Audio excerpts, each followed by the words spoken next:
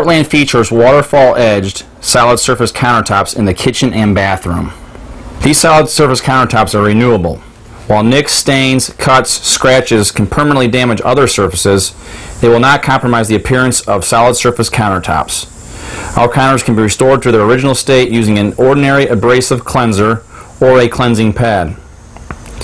In addition, these countertops are non-porous and smooth throughout. As a result, they will not promote the growth of mold, mildew, or bacteria. Finally, these solid surface countertops are easy to clean. Stains and liquids cannot penetrate through.